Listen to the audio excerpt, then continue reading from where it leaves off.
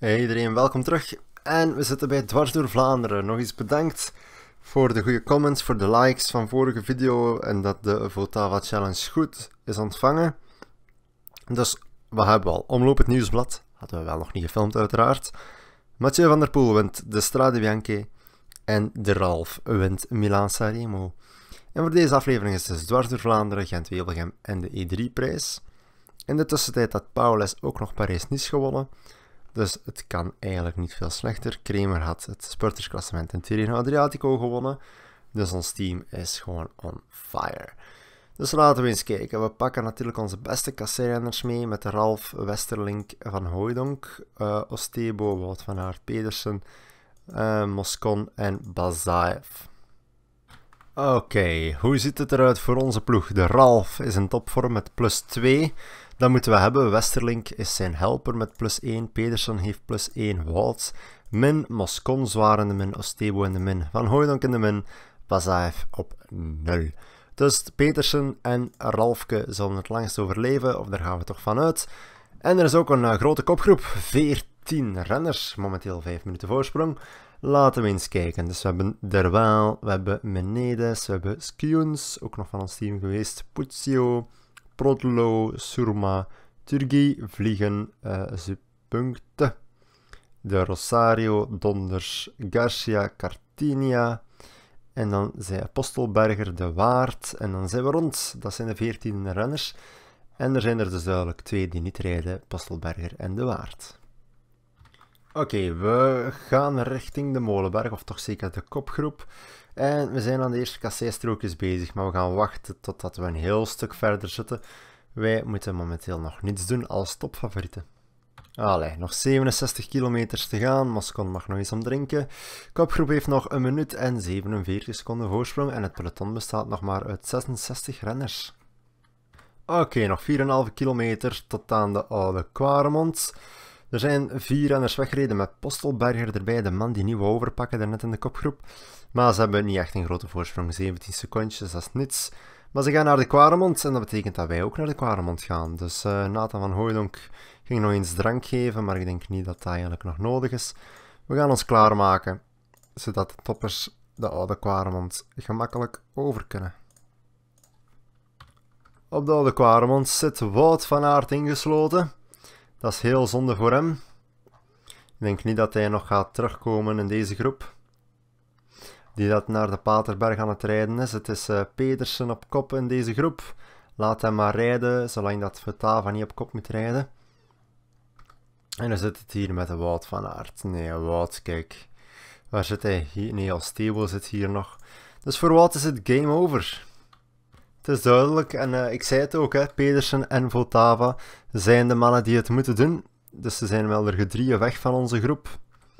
Dus we gaan Westerlink even op kop laten rijden. Turgie zit hierbij. Prodelo, Vliegen en Postelberger zijn nog voorop. En wie komt er ook bij ons aansluiten? Juist, Stuiven is nog niet mee. Van Baarle zit hier nog iets verder.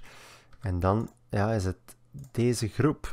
Moeten we Van Hooydonk laten werken voor Moscon die min 3 heeft. Misschien, misschien wel, je weet maar nooit wat daar nog uit kan komen. Voor Moscon, die kan ook een, uh, een beetje sprinten. Van Aert zit momenteel nog uh, drie minuten al achter op Westerling Futava. En ja, Stuiven van Baarle rijden mooi het gaatje dicht. Voilà, we gaan Westerlink eventjes laten rijden. Laat hij maar op kop rijden voor het groepje. Stuiven moet lossen. Postelberger kan hem niet meer helpen en zo zijn we weer met ons gedrieën weg. Maar natuurlijk gaat Ralf niet op kop rijden. Hij zou goed zot zijn. Pedersen en Westerling gaan het doen voor ons team en Van Baarle kan daardoor profiteren. Eigenlijk die Prudlo ook niet slecht, hè? vanuit de kopgroep komen en dan hier nog bij zitten.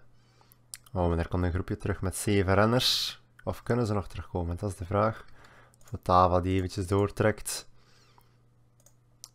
Westerlink, kom aan jongen. Al alles er nog eens uit. Rij nog eens op kop in uw eentje.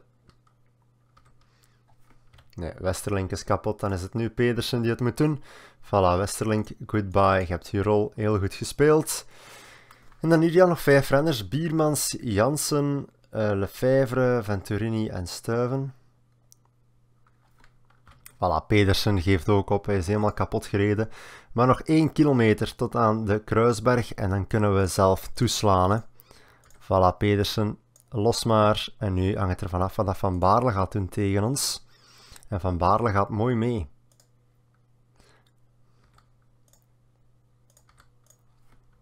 Oké, nog 6 kilometer en Van Baarle is niet van plan om over te nemen.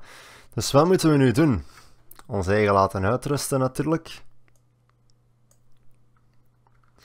Maar ja, zolang dat Pedersen natuurlijk niet wordt ingehaald, maakt het niet zoveel uit voor ons. Nog 4 kilometer te gaan. Maar gaat Van Baarle ons daar afsprinten? Dat is de grote vraag. Nog 3 kilometer. Wij zouden normaal beter moeten zijn dan Van Baarle. Maar ja, je weet het maar nooit. Nog 2 kilometer te gaan. 1,6. Het is het moment. Even op 99 alles. En nu eruit komen. Kom aan. Van op de kop af, van op de kop af, van op de kop af. En Van Baarle kan er niet overkomen. En zo pakken we 4 op 3. Want natuurlijk Van der Poel had Strade Bianchi afgepakt door nog in de vroege vlucht mee te zetten. 3 op 4, dat is niet slecht. Op naar de volgende race.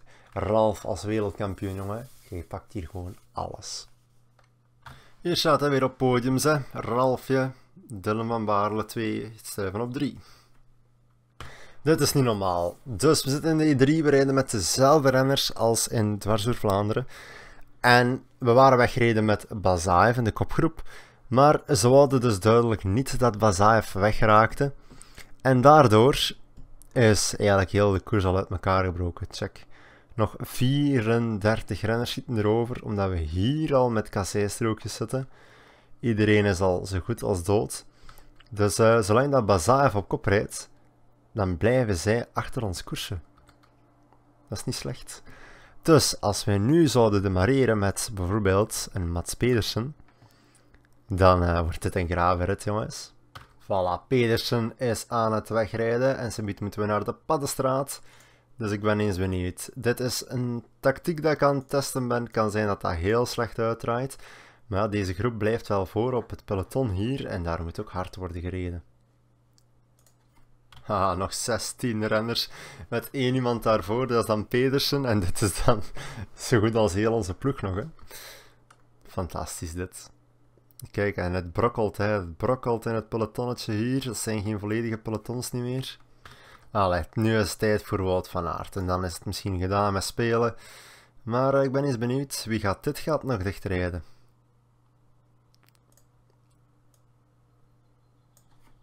Oké, het peloton is erbij gekomen. We hebben een minuut voorsprong met Wout van Aert. Er wordt hier niet echt gereden. Dus gaan ze ons laten wegrijden? Dat is nu de grote vraag. Want check naar hoe dat iedereen eruit ziet qua, qua level nog over. Dan is Fotava echt het beste. Check die gele balk, zeg. En ja, er is niemand die het kan, hè. Het gaat van Woutje dichtrijden. Oh, vijf minuten voorsprong. Allee, ze zijn weer begonnen in het peloton. We hebben nog één minuut voorsprong, dus nu gaan we terug wat beginnen verrappen met Wout van Aert. En het is terug Michael Matthews die het hier moet oplossen. En ja, ons groepje bestaat terug maar uit 29 renners. En we moeten nog aan de kasseien beginnen. Nog 64 kilometer te gaan. We gaan naar de Eikenberg. En het wordt tijd dat we het gaatje op Wout van Aert gaan dichtrijden. Met onze beste renners. En zien wie dat er nog overblijft. Voilà, Ralfje rijdt het gaatje dicht. Wie is er allemaal nog mee? Nathan van Hooydonk is niet meer mee. Stebo is niet meer mee. Dus het is tijd dat Moscon de kop gaat pakken. Nog 50 kilometer. 21 renners nog voorop met een Moscon die dat nu uh, mag opgeven. Westerlink mag eigenlijk ook opgeven. En het is Pedersen die onze Ralf aan het helpen is naar deze overwinning. Wie zit er hier eigenlijk nog bij? Van Toppers van Baarle terug, De Wolf, Seneschal, Wurts, Perdes. Oh, en ze bieden zitten de Patersberg na deze berg. Dan houden we ons nog eventjes rustig. Oké, het is het moment. Nog een kilometer tot aan de Patersberg. We moeten op kop starten. En dat gaan we ook doen. Pedersen gaat deze klim normaal nog overleven. Of misschien niet. Oh, Westerling zit hier zelf nog. En we rijden zo rechtstreeks door naar die old Quaramo met Wurts in ons wiel. We zijn nog met zeven man over. Lefebvre, Van Baarle, Sagan, Seneschal, Gaillot en De Wulf. Dus dat betekent nog twee... Oei, ik wou zeggen... Ja, twee Belgen, inderdaad. Trevi komt terug aansluiten, Stuiven komt aansluiten. Jansen Wurts is er hier met uh, Westerlink. Zou die zelf nog kunnen terugkomen? Misschien moeten we dat wel proberen. De Knokteberg is wel de laatste klim. En als we het dan moeten opnemen tegen Sagan in een spurt, kan het gevaarlijk worden. Stuiven, kan ik nog goed spurten? Oké, we gaan demareren. We gaan het proberen. Wie kan er nog mee? We moeten zien hoe goed Sagan nog is. Kom aan, Votava. Wie gaat er breken? Iedereen gaat breken. Juist, Sagan niet. Sagan gaat niet breken. Dus die spurt gaat heel spannend worden. Sagan rijdt weg. Sagan rijdt weg. Wie gaat het dichtrijden van Baarle, Seneschal? Gaat hij wegraken? Nee. Oké, we gaan ons in het wiel van Sagan zetten. Nog 8 kilometer te gaan. Oeh, Sagan rijdt weg. Perfect. Perfect, dat was eigenlijk heel goed gedaan. Verspil maar wat energie, Sagan. Kom aan, wij blijven nu wielke pakken. De Wolf, Seneschal, ook een heel goede spurter. Ah, 72, oké. Mm, nog 5 kilometer te gaan. We hebben nog onze energiegelletje nog. Oké, nog 2,7 kilometer. Sagan gaat, Sagan gaat. Maar Sagan heeft al een te grote voorsprong. We moeten zorgen dat we dat gaatje kunnen verkleinen. En op deze manier doen we dat. Op deze manier doen we dat. We vertrekken nu wel van op de kop natuurlijk. Maar wat kunnen we doen tegen Sagan? Wat kunnen we doen tegen Sagan? Gaan we D3 winnen? Gaan we D3 winnen? Gaan we de E3 winnen? Yes! We winnen! 4 op 5. 4 op 5 voor Votova. Peter Sagan. Bam! You're getting downed. Amai. Oeh, en een spurt. Mooi. Heel mooi dit. Knap. Amai, ik ben kei blij. Look at this. Terug op de eerste plaats. Nog één rutje te gaan en dat is Gent-Wevelgem. Voor Gent-Wevelgem gaan we één aanpassing doen. We gaan Bazaev thuis laten en we gaan Kung meepakken. Wegens zijn grote vormpiek. Maar nu dat ik het inderdaad net zag, kunnen we eigenlijk beter Ostebo ook thuis laten en Gaviria meepakken. Uh, want kijk, ja, het is natuurlijk uh, vlakke aankomst. Hè? Dus we moeten zien weg te geraken met Ralf, anders gaan we deze rit niet winnen.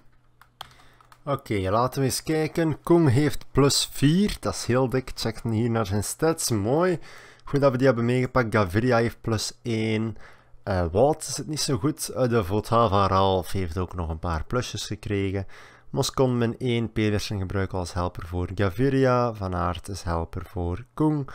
Vota, uh, Van Hooydonk is helper voor Votava. En dan kunnen we Westerlink nog gebruiken als helper voor Moscon op het moment. Koproep van 7 met Gregson, Rozen, Castrillo, uh, Womersley, Puili, Karjanov, uh, Van Schip en Gregson. Oh, die namen, jongen. Dat blijft het allermoeilijkste aan Pro Cycling Manager. De namen. Maar het is dus nu een hele tijd vlak. Het zal wachten worden totdat we wat daar zo in dat middenveld komen waar dat één kasseitje staat. Oké, ik heb een klein idee voor deze rit. En dat is gewoon aanvallen met Votava, met dan Van Hooydonk die zijn helper is, met uh, Moscon. En dan laten we Kung zitten, Pedersen zitten met Gaviria. Um, ja, en daar gaan we het een beetje bij laten dan, denk ik. Voilà, de aanval is begonnen met Nathan van Hooydonk, die dat er niet uit geraakt. Oké, okay, geraakt er nu wel uit. Nu Moscon, Kung en Votava nog. Jawel, goed, goed. Oei, oei, Kung is al kapot. Dat had ik eigenlijk niet verwacht, dat Kung nu al kapot ging zijn. Van hoi, dan wacht dan maar eventjes. Dan is het Moscon die het moet doen, Votava in het wil. Voilà, nu kan hij terug vertrekken van Hooidonk. Kom aan, met ons gedrieën. En dan hebben we dus Pedersen, die mag blijven zitten. We hebben Gaviria, die hier zit, met als helper Pout van Aert. Dus dat mag niet mislukken. Maar Kong, dat viel tegen. Um, in ieder geval nu Pacen. Pacen van Hooidonk. Pacen, we zijn met ons gedrieën weg. Kom aan, alles geven. Ze bieden ze dan toch bergaf. Oké, dus we zijn met ons gedrieën weg. Nathan van Hooydonk gaat nog eens op kop komen. Tegen 99. En volledig pleuris rijden. We moeten wel zorgen dat Moscon kan volgen natuurlijk. Voilà, en dan wordt het nu tijd dat we met ons tweeën gaan rijden. Voilà, het is nog 65 kilometer. Onze voorsprong is niet zo groot. Maar zo so be het. Als we kunnen weggeraken, dat is het allerbelangrijkste. Met deze drie overleven. Drie tegen een hele groep. Maar dat is goed voor Gaviria of voor Pedersen. We zijn jammer genoeg ingelopen. Ons uh, spelletje heeft dus niet gewerkt. Laatste klim van de dag. Laatste kans voor Votava om aan te vallen. Dus ja, laten we het dan maar proberen. Hè.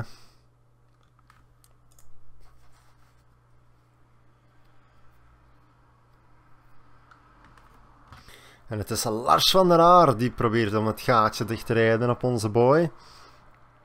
Het gaat hem ook lukken natuurlijk. Uh, tenzij dat wij nu een beetje gaan versnellen. Lars van der Aar heeft het opgegeven, nog 20 kilometer te gaan en we rijden nog altijd voor het groepje. En het is zelf die maar die nu kop komt rijden voor ons in te halen. Dus ja, dat was onbegonnen werk. Jammer, jammer, jammer, jammer, jammer. Maar ja, dan is het alles op Gaviria. Lead-out spurtje met Nathan van Hooydonk die op kop begint. Dan gaat Wout van Aert overpakken. Dan hebben we nog Koen, Moscon, Pedersen en dan Gaviria. Laules, mm, die Martinez zit er, Groenewegen zit hier. Die maar gaat de spurt aantrekken voor Groenewegen, of wat? What the fuck? Ah, en ik dacht al, dat gaat hier niet zo snel. Maar ja, Wout zat dan ook nog maar op 84 te rijden. Foutje. Niemand in de Wout. Voilà. Kong, goed bezig. Kom aan, maat. Even tot op de 4. Voilà. Moskou nu naar de kop. Kong mag stoppen. De maar zit hier al een hele tijd in zijn eentje bezig voor Groenewegen te helpen. Oh, en dan moet Pedersen er niet uitkomen. Pedersen moet eruit komen voor Gaviria. Maar oh my god, wat is dit maar? Wat een lead-out heb jij gedaan, jongen. Voor Groenewegen, Laules. En Gaviria komt van ver. Gaviria komt van ver. En Laules gaat winnen. Of gaat Gaviria er nog overkomen? Gaat Gaviria er nog overkomen? Nope. En we hebben het verpest.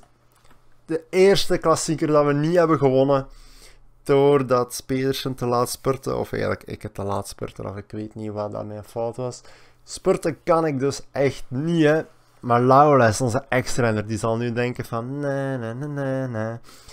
Maar dat is zonde. Dat is echt zonde. In ieder geval, we hebben het geprobeerd. 1 op 6 niet gewonnen. Dus we hebben er 5 van de 6 gewonnen. We hebben er 4 van de 6 gewonnen met meneer Ralf. Dus we mogen niet klagen. En volgende aflevering is het natuurlijk de ronde en Roebe. En uh, ja, je gaat dat zien. Oh, my, je smijt ermee hoor niet. Alles al bijna gewonnen. En dan die Roubaix en die ronde. Dan zijn er mannen altijd in vorm waarvan dat je denkt van, wat is dit? Maar tot dan, als ik de kans heb om met Wout te winnen, gaan we het dan doen? Ja of nee? Gaan we de Wout Glory dan terug naar boven halen? Moest Ralf en Wout samen weg zijn? Misschien wel. Tot dan, stay tuned en nog een prettige dag. Dag.